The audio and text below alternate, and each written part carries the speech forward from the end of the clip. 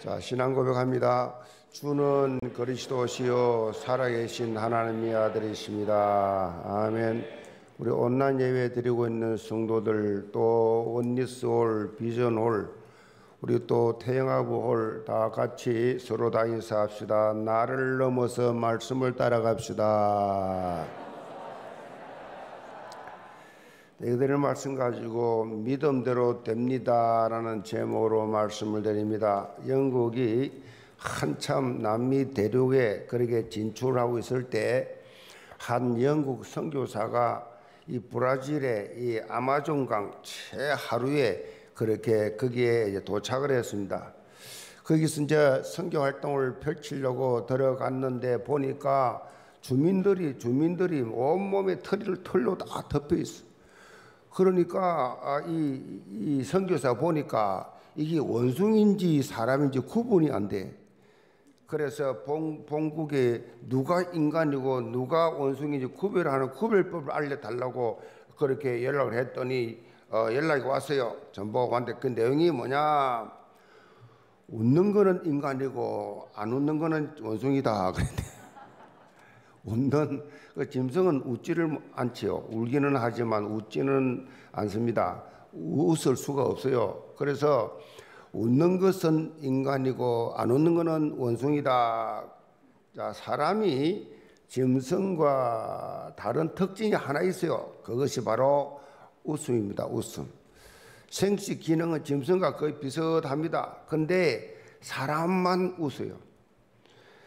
지금 시대 코로나19로 인해서 이렇게 어렵고 제재를 받고 여러 가지 활동이나 경제적으로 어려움을 당하지만은 누구나 다 지금 웃을 수 없는 환경이에요.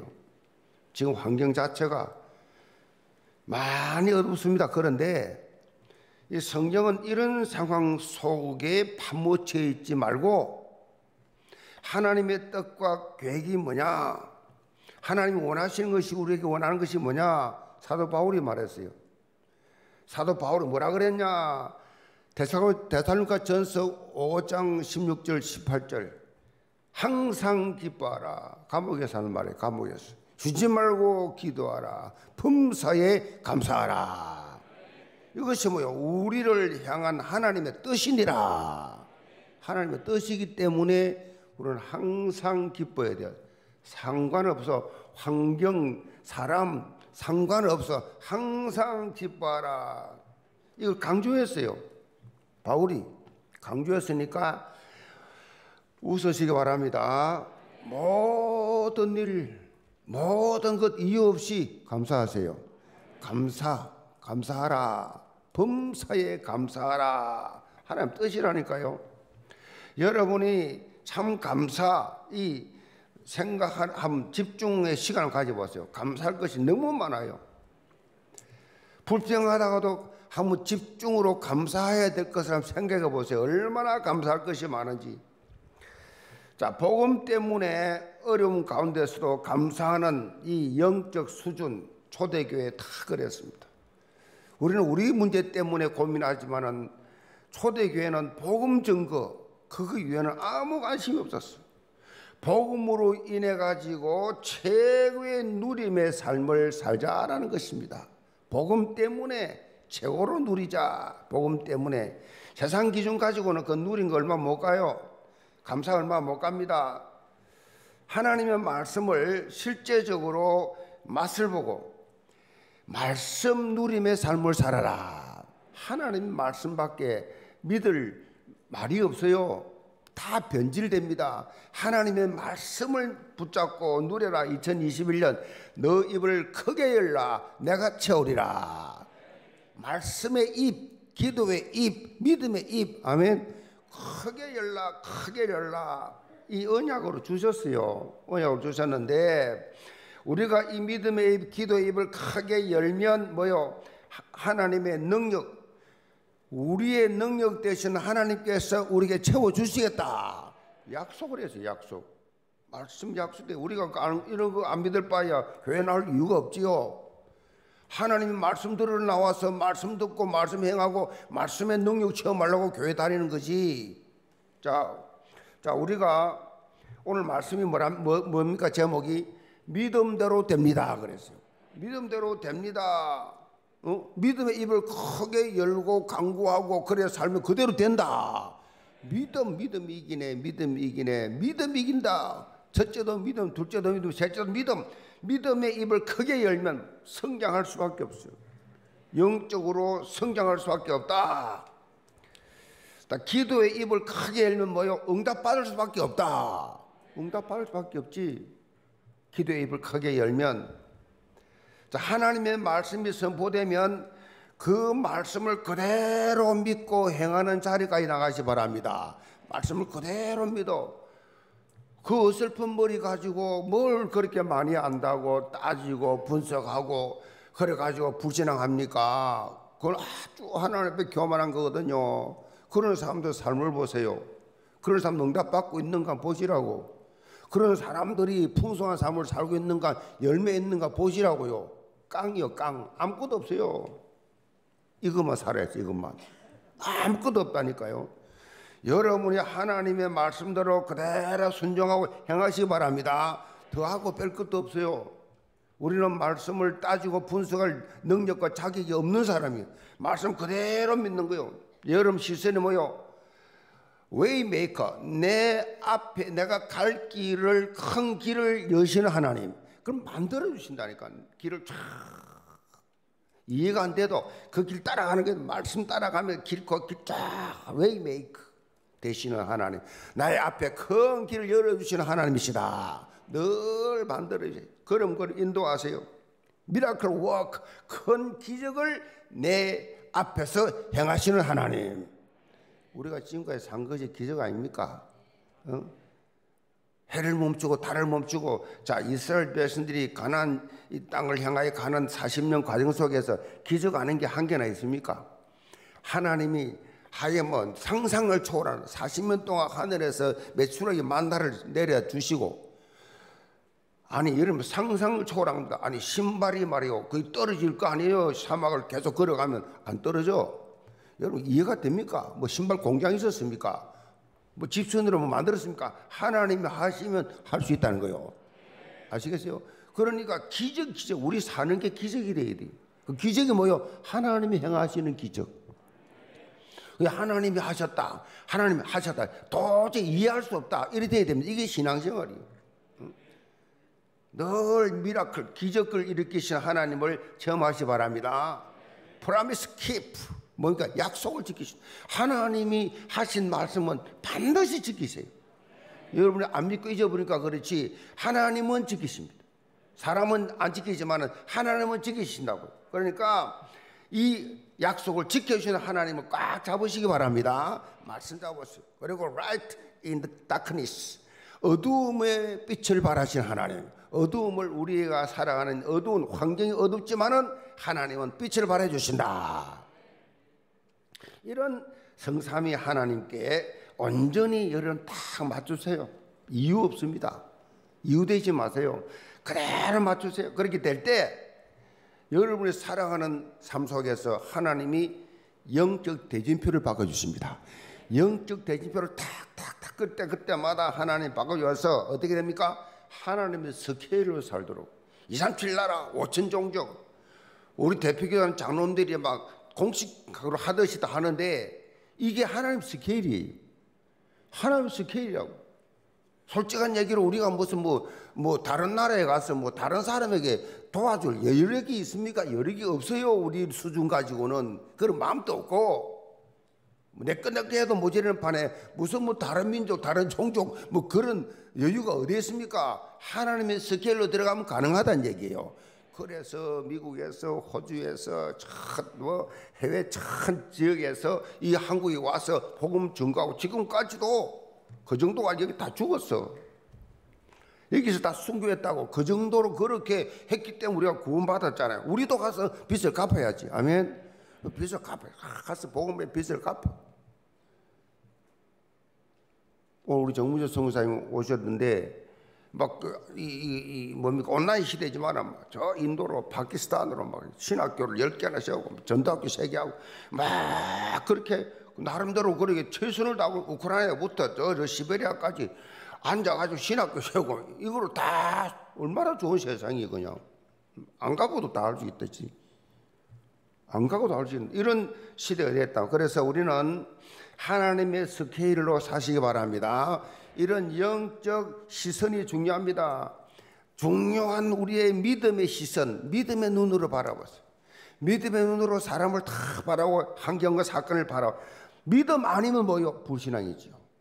믿음으로 안 바라본 불신앙, 불신앙 시선을 갖게 되면 본인 또 망하고 남도 망하고 믿음의 시선이냐 불신앙의 시선이냐 천냥기 차이죠. 천냥기 차이. 천국 지옥이죠. 그냥 믿음의 시선으로 사람을 평가할 때 믿음으로 바라봐. 아, 저 참 믿음이 좋다. 믿음으로 뭐 본받아야지.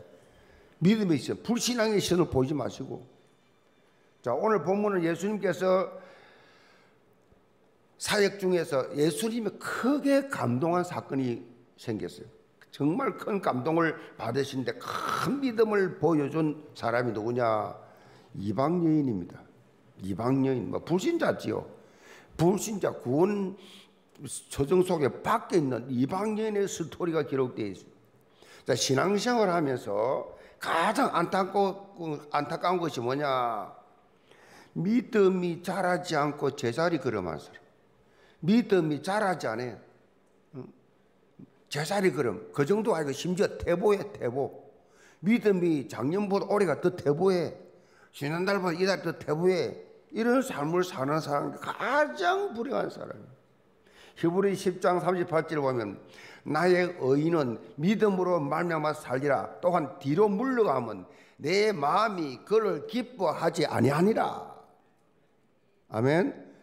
믿음이 성장해야 돼. 믿음이 계속 야, 저 집사님, 저 장로님, 저 권사님 믿음이 참 좋아졌네. 말투가 말 내용이 달라졌네. 어? 벌써 다 느끼잖아요. 가족도 느끼고 형제도 느끼고 친구도 느끼고 동력자들 느끼잖아요. 아 믿음이 참 좋아졌네. 맨날 부정적인 말하더니 아주 지금은 말도 완전히 복음적으로 바뀌었네. 달라졌네. 이게 성장한 거거든요. 그래서 여러분이요 어, 늘이 신앙생활 하면서 영적 업그레이드 되시 바랍니다. 업그레이드 자꾸 성적으로 자라야 돼요. 세상 사람들도요, 자기 개발하려고 업그레이드 많이 합니다. 자기를 노력해가지고 자기 개발.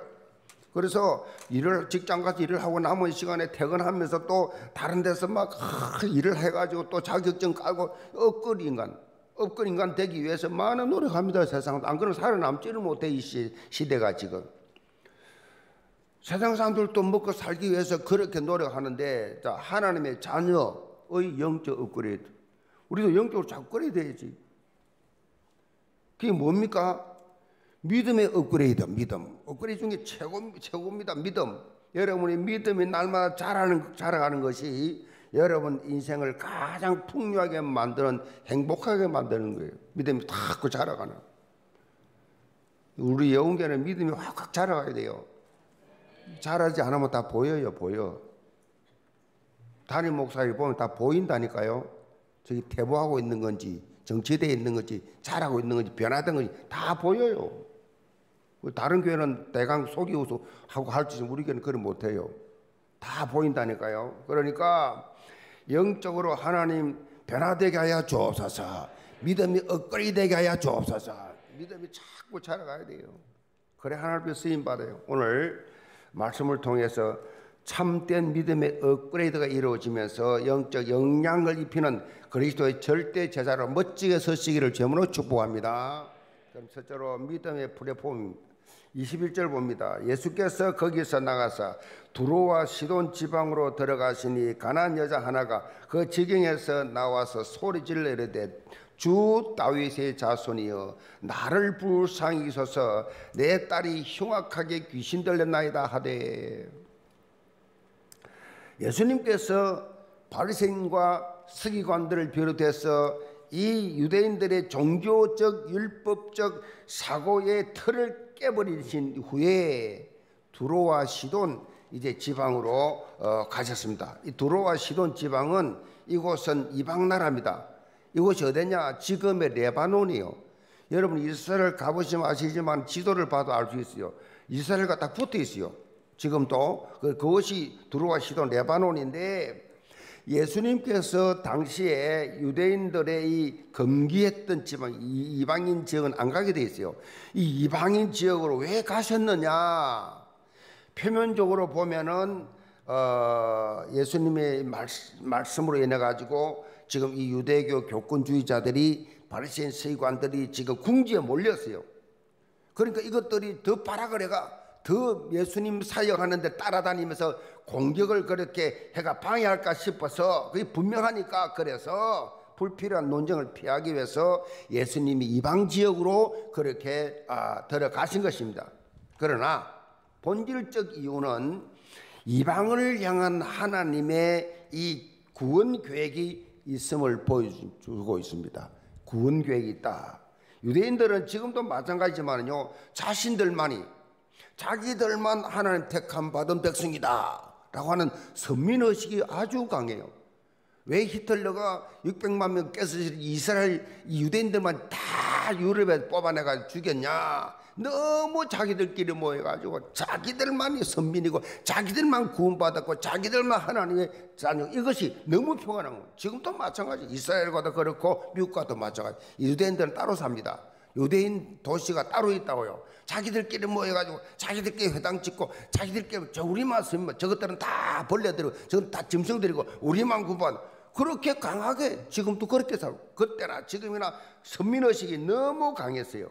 그런데 이런 이 사상이 영적으로 볼 때 얼마나 어리석고 무지한 것인지를 볼수 있어요.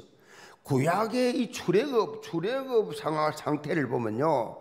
이스라엘 백성들을 구원하신 이 하나님의 역사가 쭉 기록되어 있잖아요.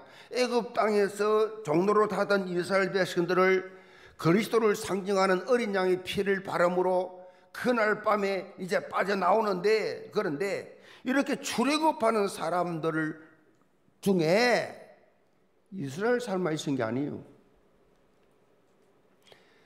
출애굽기 12장 38절에 보면 수많은 잡족과 소와 양과 심이 많은 가축이 그들과 함께 했다 그랬어요. 자, 여기 보면 수많은 잡족이라는데 잡족이 누굴 말하느냐? 이스라엘 사람들이 고센 땅에서 거기서 400년 동안 살면서 그 주위에 있는 잡족들이 많았어요. 그러니까 뭐 요즘 말하면 우리 나라에 가난해서 와서 일하는 사람들 많이 있잖아요. 그런 그 다민족들, 이 다민족을 말하거든요. 수많은 잡족들, 이 잡족들이 일을 했어요. 그 같이 이스라엘 사람들 집에서 그렇게 식모로 일하기도 하고 또 뭐 일꾼으로 일을 그래 했는데 이 수많은 사람들도 같이 양의 피를 바르고 같이 나온 거예요. 무슨 말입니까? 복음은 한 민족을 향하여 준 것이 아니라 모든 족속, 모든 민족을 위해서 주어진 것이다 라는 사실을 놓치면 안 돼요. 복음은 누구에게나 필요한 것이다. 술꾼에게도, 탕자에게도, 마약 환자에게도, 감옥에 있는 교도소에 있는 살인자에게도, 복음은 누구에게도 필요한 것이다. 종족을 말할 것도 없고, 자, 이것이 원래 하나님의 뜻과 계획인데 이것을 이스라엘 백성들이 놓치고 선민의식, 율법의식이 딱 빠져 있었어요. 예수님께서는 제자들에게 이런 영적인 눈이 열리도록 현장에서 직접 보여주십니다. 이거 직접 보여주세요. 본문에 예수님께서 이방 지역으로 들어갔을 때에 악한 귀신 들린 딸을 데리고 있던 한 가난 여인이 예수님께 나와 간청을 합니다. 자신의 딸이 심각한 귀신에 지금 들렸는데 저를 불쌍히 여기서 고쳐 달라는 것입니다. 자, 이걸 보면요. 이미 예수님의 소문이 이방에도 다 소문이 나 있었어요. 예수님을 만나면 모든 병 치유된다. 예수님을 만나면 그 이방 지역에 쫙 퍼져 있었어요. 그러니까 예수님 오신다라는 이 소문을 이 들은 이 여자가 여자가 갈급한 마음으로 예수님을 찾아옵니다. 그런데 한 가지 놀라운 점은요. 이 여인이 예수님을 부를 때의 이 고백입니다. 예수님을 부를 때에 아주 놀라운 고백이었어요. 그게 뭐냐? 주 다윗의 자손이여 그랬어요. 주 다윗의 자손이여 나를 불쌍히 여소서. 이 고백은 단순한 고백이 아니에요. 주라는 말은 헬라 말로 κύριος 이 말은 하나님을 부를 때 쓰는 용어예요. 하나님을 부를 때 쓰는 대명사입니다. 자, 이들은 여호와라는 하나님 이름을 감히 부르지를 못해 가지고 다른 호칭들을 사용한 중에 하나가 κύριος입니다. 그러니까 이 다윗의 자손이요 이 말이 또 뭡니까? 주 다윗의 자손이요 이 말은 약속된 메시아, 약속된 메시아를 일컫는 유대인의 특유 표현이에요.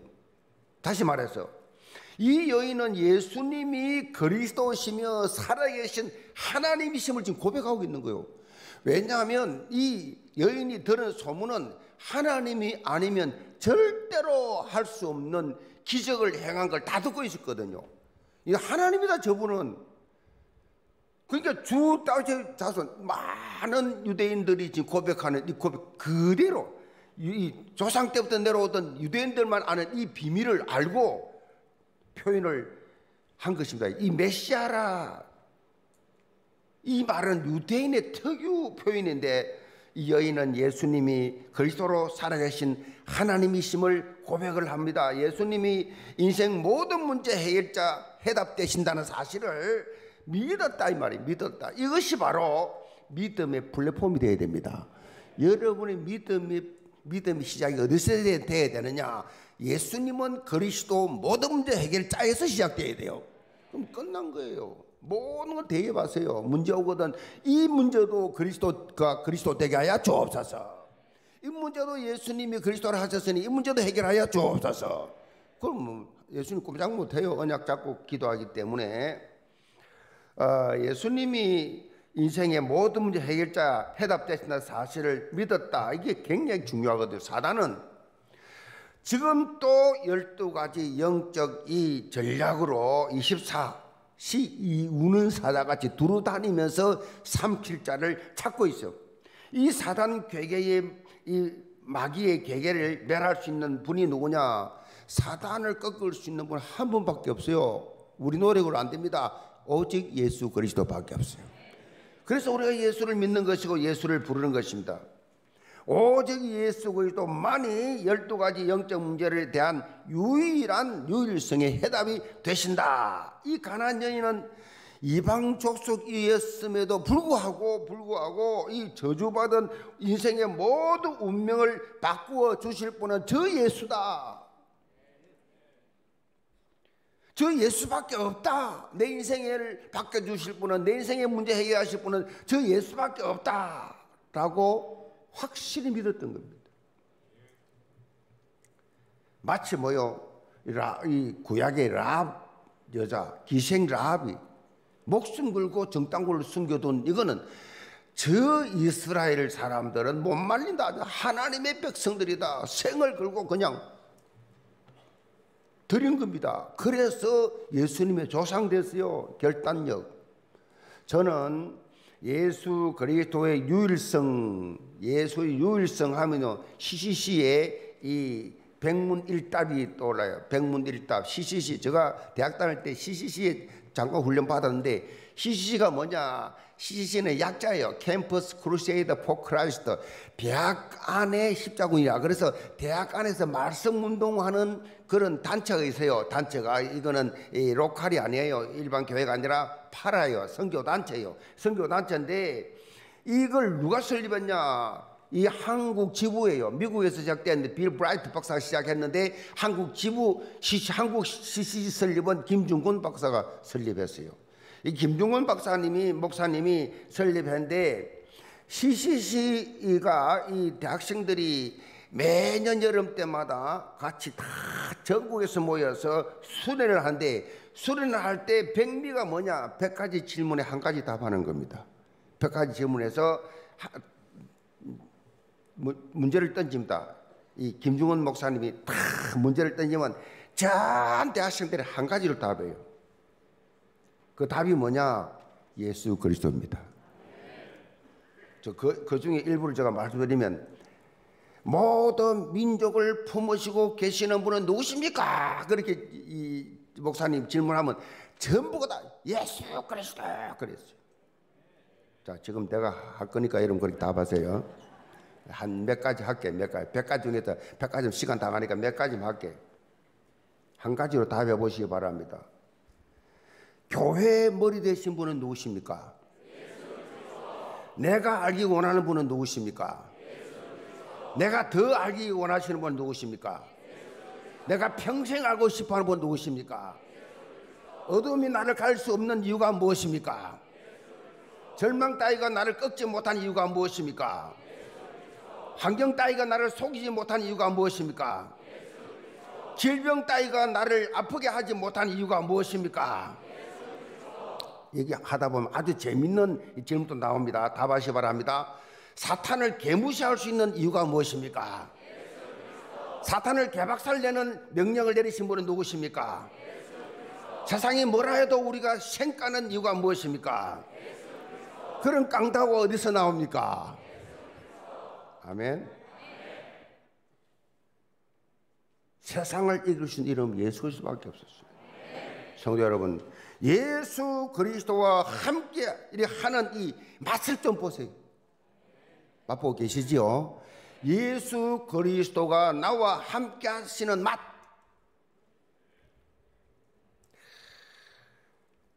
우리 인생은요, 예수 그리스도와 함께 시작하고, 예수 그리스도와 함께 동행하고, 예수 그리스도와 함께 마무리하는 거예요. 그래서 히브리 10장 2절에 보면 믿음의 주여 또 온전케 하신 예수 그리스도를 바라보자. 그렇죠? 저는 매일 정식 기도하면서 기도 중 가난하고 병들고 연약하고 시험 들고 낙심하고 지금 넘어지고 자빠지고 흔들리고 있는 믿음 약한 자들, 특별히 암한 자들, 믿음의 주여 또 온전케 하신 주님만 그렇게 저는 그렇게 기도 합니다. 주님만 바라보게 하여 주옵소서. 합력하여 소리는 인생 작품 만들게 하여 주옵소서. 인생 작품 만들어 그 아픔을 통해서 하나님 심심해서 아프게 합니까? 하나님 할일 없어 가고 장난칩니까 지금? 왜 이런 아픔을 줍니까? 왜 이런 실패를 줍니까? 왜 이런 고통을 줍니까? 그 속에서 인생 작품 만들어라고. 완전히 옛것은 사라지고 새로운 새 사람으로 옷 입고 새로운 삶을 시작하라고 주는 거란 말이에요. 예수 그리스도가 내 인생의 플랫폼이 되어야 돼요. 돈이 플랫폼 되면 안 됩니다. 권력의 명예가 자리가 플랫폼 되면 안 된단 말이에요. 예수 그리스도가 내 믿음의 플랫폼이다.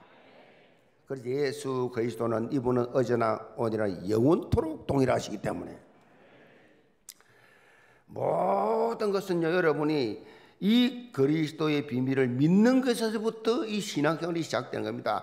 그리스도가 나의 플랫폼이다. 여기서 시작되는 겁니다. 영계 모든 성도들 우리 믿음의 유일한 플랫폼 되시는 예수 그리스도와 언약적 24시 소통 25시 영혼의 응답 속에 들어가시기를 죄물로 축복합니다. 두 번째로 나를 넘어서는 믿음입니다. 23절 봅니다. 예수는 한 말씀도 대답하지 아니하시니 제자들이 와서 청하여 말하되 그 여자가 우리 뒤에서 소리를 지르오니 그를 보내소서. 예수님께서 가난 여인의 강구에 이런 방구도 하지 않으셨습니다. 그럼에도 불구하고 이 여인의 강구는 계속되었습니다. 제자들이 막 너무 듣기 귀찮을 정도로 그렇게 막 그냥 지에 대해서 불쌍히 달라고 질러대니까 뭐 근처를 못 가니까 제자들이 다 울려서 뒤에 싸고 있으니까 예수님 가까이 못 가니까 막 질러대요. 그러니까 이 제자들이 너무 귀찮아 가지고 이 여인을 어떻게 좀 빨리 좀 어디 보내야 되겠는데 예수님 요청합니다. 좀 어떻게 해서 빨리 좀 보냅시다. 시끄러워 죽겠습니다. 불쌍해서가 아니에요. 귀찮았어요.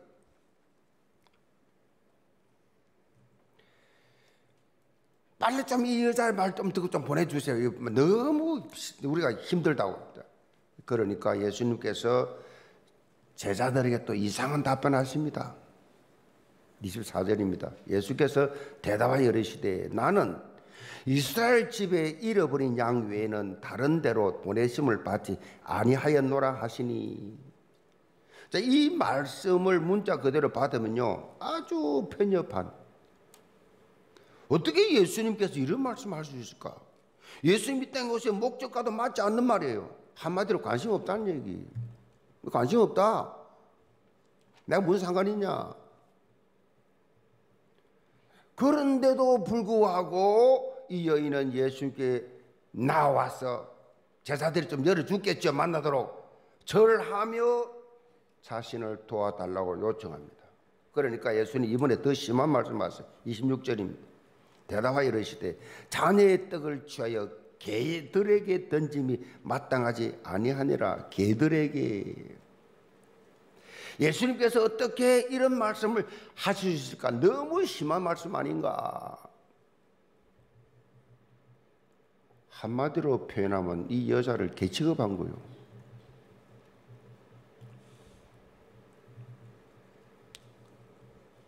왜 그랬습니까? 왜 이렇게 이런 말을 예수님 하셨습니까?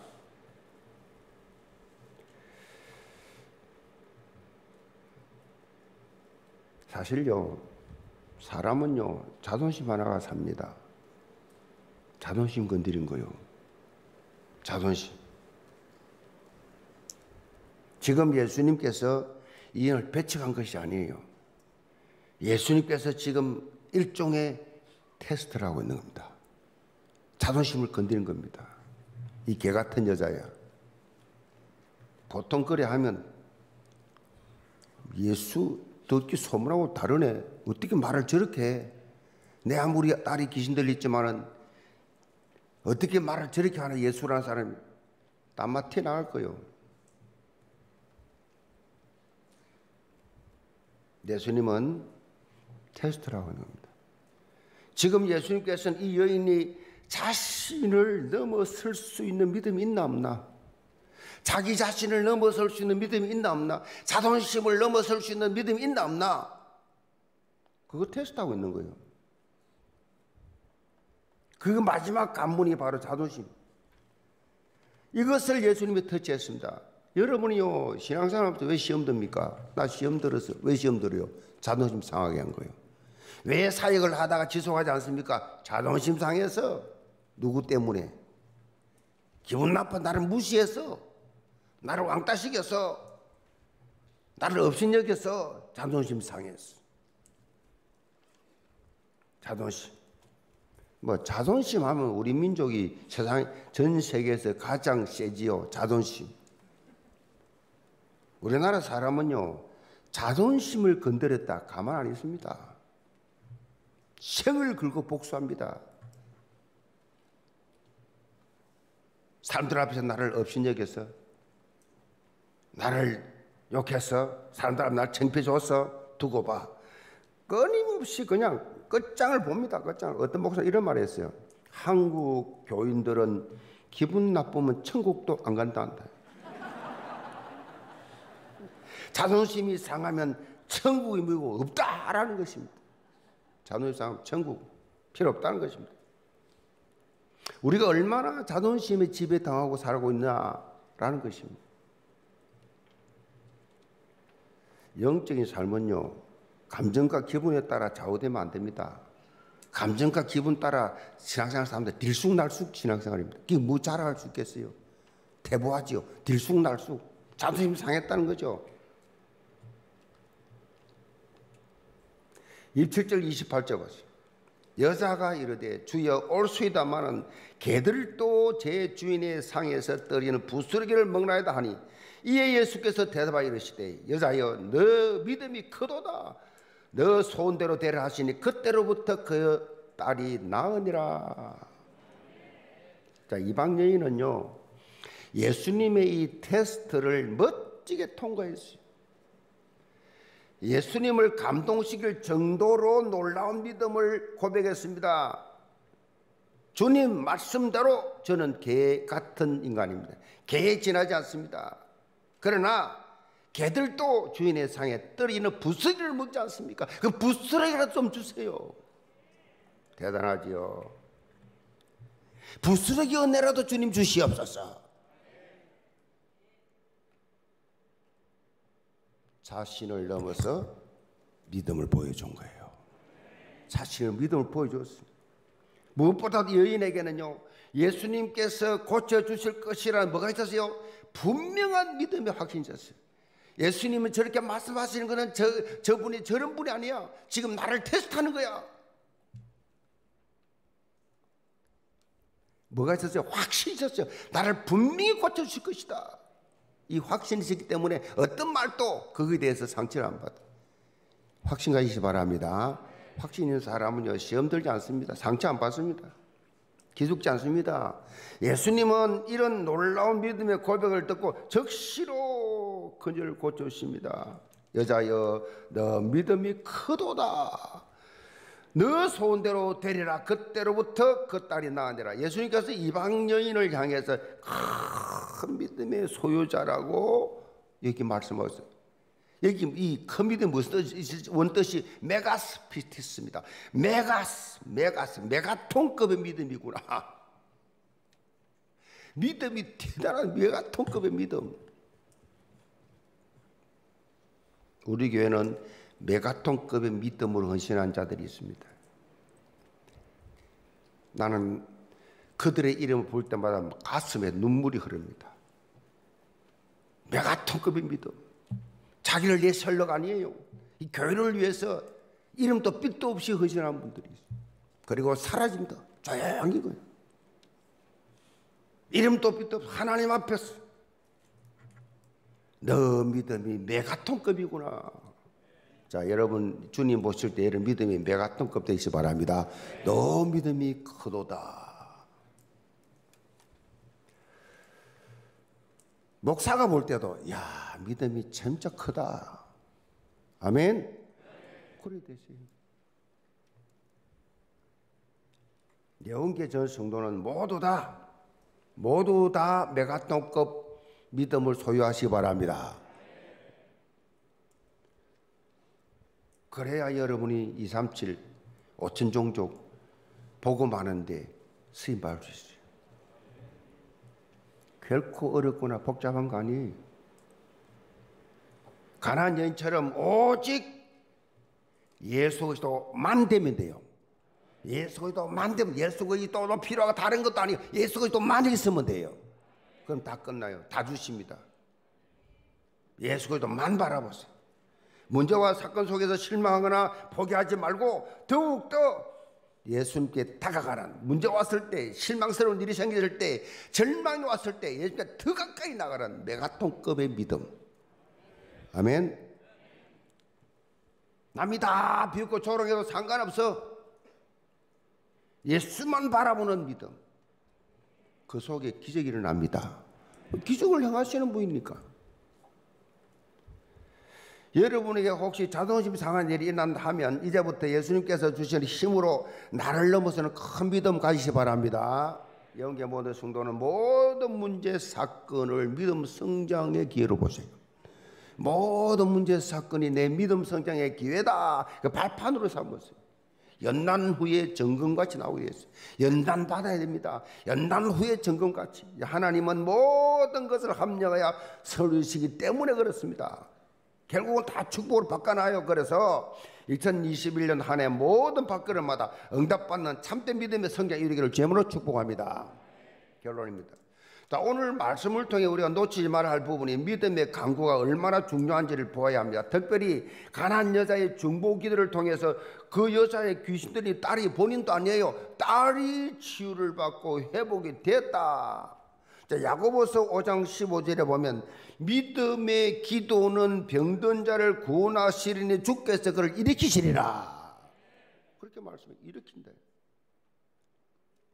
이어지는 16절 보면 병이 낫기를 위하여 서로 기도하라. 의인의 강구는 역사는 힘이 큼이라. 병 낫기를 위해 서로 기도해 주라. 서로 정보 기도. 병 낫기 위해서 우리에게 병든 자 너무 많아요. 신이여 내가 보고서를 보잖아요. 매주 그렇게 한 것을 사역자 보고서 보는데 김현수 목사님이 지금 사역하고 있는 시니어 시니어 사역 보고서를 보니까 처음부터 끝까지 싹 다 병이야. 뭐 그분들만 적었겠지만은 어, 디 아프고 아프고 아프고 어디 아프고 물론 나이가 많으면 뭐 어디 아픈 데 있겠죠 근데 보니까 일본부터 마지막에 싹 명단이 환자들만 쫙 시니어 예배부 특별히 병자를 기도하시 바랍니다 믿음이 나이가 들면 믿음도 없어져요 막 그냥 믿음 약해 몸이 또 약하면 믿음도 약해져요 참 미안해요 어? 그, 그 시니어 뿐만 아니에요. 교회 환자들. 물론 그 연약한 자들을 주로 신방하고 그렇게 하지요. 그렇게 해야 되겠죠. 당연히. 연약한 자들이 너무 많다. 암 환자들이 왜 이렇게? 그 저는 매일 기도해요. 암 환자들 고통 중에서 주님 찾게 하죠. 주님의 십자가의 그 고난을 체험하게 하여 주옵시고 회복, 회복되게 하여 주옵소서. 믿음이 우선이거든요. 믿음이 그걸 통해서 그래서 병 낫기를 위해 서로 기도해라 서로 의인의 강구하는 역사하는 힘이 크니라 그랬어요. 응답된다 이거지요. 육신의 건강을 위해서 위한 바탕에 믿음의 강구가 있어야 돼. 의학의 시조 아시지요? 히포크라테스. 히포크라테스가 강조한 건강 위한 네 가지 이 지침이 있습니다. 참 흥미로운데요. 첫째가 뭐냐? 운동입니다. 첫째는 운동, 두 번째는 마사지예요. 마사지. 그 나이 들면요, 좀 이렇게 좀 뭡니까 우리가 마사지 하러 갈 수는 없잖아요. 기계 가지고 어 저도 얼마 전에 하나 샀어요. 기, 그거 가지고 몸 이렇게 막 몸 등등 특별 뒤에가 앞에는 보이니까 되는데 가장 중요한 게 등이거든. 등, 등, 등 쪽이다 말이에요. 그러니까 운동, 두 번째 마사지, 세 번째가 식이요법, 네 번째가 기도요. 참 희한해. 히포크라테스 한 말이라니까요. 네 번째 기도인데 기도가 건강을 위해 지침이 지침이라 기도하면 건강해 복된다는 거예요. 16세기 프랑스의 유명한 외과 의사였던 암브로스 파레라는 분이 있습니다. 이 유명한 의사가 이런 말을 했어요. 나 의사 파레는 상처를 치료하고 하나님은 병을 낫게 하십니다. 수술을 의사가 하지요. 그걸 완전히 낫게 하는 분은 하나님이시라니까요. 자, 이 고백의 근교에서요, 약 위의 기도라는 유명한 말이 생겼어요. 약 위의 기도. 약, 우리 믿는 사람이요, 병이 걸리면 약을 의지하고 의사 의지하는 게 아니고, 그건 다 더 하는 거예요. 제일 먼저 기도부터 하시 바랍니다. 하나님, 기도 속에서 하나님, 이유가 뭡니까? 이 병, 이 병이 내게 온 이유가 뭡니까? 그 이유를 찾고 하나님 앞에 기도하고, 물론 약도 쓰고 치료도 하지요. 병원도 가지만은 약 위에 기도. 우선순위를 말하죠. 여러분 기도가 육신에 건강을 주니까 기도 많이 하시기 바랍니다. 기도가 건강을 준다니까요. 그리고 사도 바울은 에베소 6장 18절의 말씀처럼 하나님의 말씀으로 완전 무장한 후에 무시로 깨어 기도하고 서로를 위하여 기도할 것을 항상 힘써라. 서로를 위해 정보 기도가 최고 수준의 기도거든요. 그러니까 나 다른 사람에 항상 한마디로 믿음의 강구를 통해서 응답받는 자로 나가야 됩니다. 나는 구하지도 않으니까 다 주, 주세요. 나는 저 한 사람을 전도하기 위해서 우리 우리 교회와 상관도 없는 저 지에 가서 내가 복음을 전개했는데 하나님은 동에 심은 데 서에서 거두게 하시고 젊을 때 확 심은데 노년에 확 거두게 하시고 우리는 알지도 못한 나라 가 가지고 성기비 주고 뭐, 뭐 가서 막 캠프하고 한다. 하나님 우리 개개인을 축복해 주시 교회 축복하시고. 하셔야 돼요. 하나님은 뭐든 뭐 주무십니까? 돌아가셨습니까? 다 보고 계시는데. 자, 우리 영계모드 순도 오늘 제목입니다. 믿음대로 된다라는 언약적 확신을 있어 바랍니다. 내 믿음대로 된다. 믿음을 점검해 보세요. 여러분 뭘 믿고 있는지, 뭘 바라고 있는지 뻔하잖아요. 딱 금방 나오잖아요. 내가 뭘 믿고, 뭐 때문에 기뻐하고, 뭐 때문에 슬퍼하고, 어디에 신경 써, 어디에 관심 가지고 있는지 맨날 핸드폰만 잡고 있는 게 아니고, 눈만 뜨면 핸드폰, 눈 감을 때까지 핸드폰입니까? 왜 우리가 기도해야 됩니까? 왜 우리가 믿음이 우리가 장성해야 됩니까? 나의 한계를 벗어나기 위해서. 나의 한계를 벗어나, 나의 한계. 우리 스케일이 좀, 이 좁은 땅에 살면서 우리 스케일이란 것이 얼마나 작습니까? 말 한마디에 상처받고 그냥 문제 안에 벌벌 떨고 그냥 이 쫑발이 그릇 가지고 뭔 세계복음화 하겠냐고 나의 한계를 벗어나 나의 스케일이 아니라 하나님의 스케일 속에 들어간다 하나님 스케일 그래서 본당 헌당과 237 나라 복음화 주역으로 멋지게 쓰임 받는 인생 작품 만드는 영계 모든 성도들 다 되시길 제물로 축복합니다. 기도합시다. 아버지 하나님, 우리 교회 환자들이 너무 많습니다. 주의 치료하시는 여호와 라파 하나님께서 오늘 이 시간 아파서 힘들어하는 병자들 아픈 부위를 주님 안수하셔 치료하여 주시옵소서. 하나님이 치료하셨다고 고백할 만큼 증거를 주시옵소서. 우리 모든 성도들 신앙생활하면서 나를 넘어서는 내 자존심을 넘어서는 말씀을 따라가는 하나님의 사람들이 다 되게 하여 주옵소서. 믿음의 플랫폼을 가지고 언제나 말씀 따라가는 깨어있는 하나님 이 시대에 정말로 그리스도의 제자로서 오직 예수 항상 예수 예수 완전한 예수 속에서 응답받고 인도받는 자들 되게 하여 주옵소서. 예수의 선 받들어 기도합나이다. 아멘